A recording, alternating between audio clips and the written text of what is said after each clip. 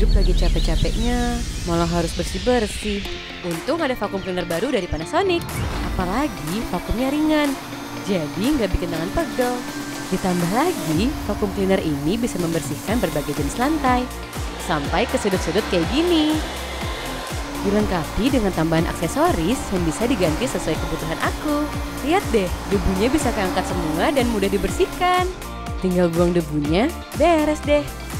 Wadah debunya bisa dicuci pakai air dan tinggal tunggu kering aja. Higienis banget.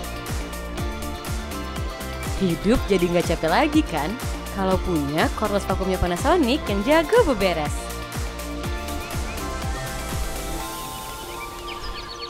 Panasonic.